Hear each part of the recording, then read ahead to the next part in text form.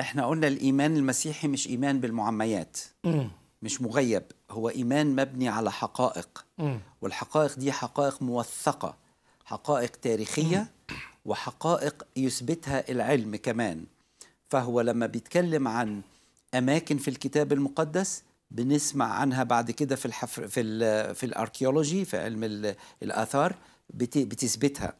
في ناس زي ما قلت في حلقة سابقة اتكلموا عن إشعياء اللي ذكر الملك أسرح الدون في إشعياء 20 واحد. مم.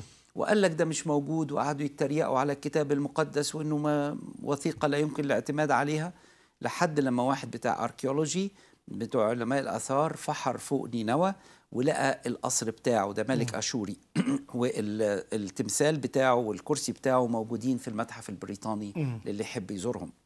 فأنا عايز أقول الإيمان المسيحي مش مبني على خرافات مصنعة. ده مبني على حق قوي جدا. وهذا الإيمان هو وسيلة التعامل مع الله. لأنه يعني بدون إيمان لا يمكن إرضاء الله. وبعدين اتكلمنا عن أنواع الإيمان. بعد ما عرفنا التعريف الصادق للإيمان الثقة بما يرجى والإيقان بأمور لا ترى. يعني واحد متأكد مم. من حاجة.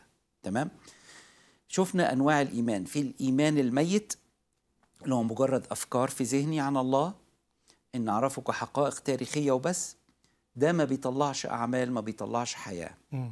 وبعدين شفنا الإيمان الشيطاني الشيطان عنده إيمان بيؤمن إن الله موجود ما هوش ملحد يعني بيؤمن إن الله إله واحد بيؤمن إن يسوع ابن الله بيؤمن إن في عقوبة وفي ثواب في الآخر ف... وكمان بيؤمن ويقشعر فعنده مشاعر. أيوه.